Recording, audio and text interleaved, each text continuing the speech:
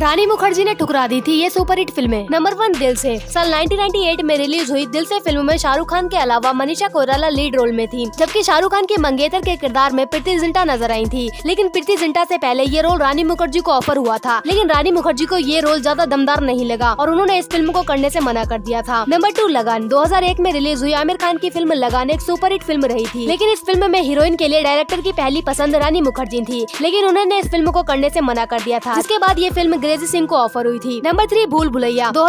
में आई भूल भुलैया फिल्म के लिए डायरेक्टर की पहली पसंद रानी मुखर्जी थी लेकिन उन्होंने इस फिल्म को करने ऐसी मना कर दिया था बाद में इस फिल्म को विद्या बालन ने पर्दे आरोप फिल्माया और उनकी जबरदस्त एक्टिंग ने सभी को उनका दीवाना बना दिया था साथ ही फिल्म भी सुपरहिट रही number four Munna Bhai M Sanjay Dutt और अर्षद वारसी की इस फिल्म में ग्रेजी सिंह वाला किरदार भी पहले रानी मुखर्जी को ऑफर हुआ था लेकिन उन्होंने इस फिल्म को करने ऐसी भी मना कर दिया था जिसके बाद इस फिल्म में ग्रेजी सिंह की एंट्री हुई थी वैसे आप रानी मुखर्जी के फैन है या नहीं हमें कमेंट में जरूर बताना थैंक यू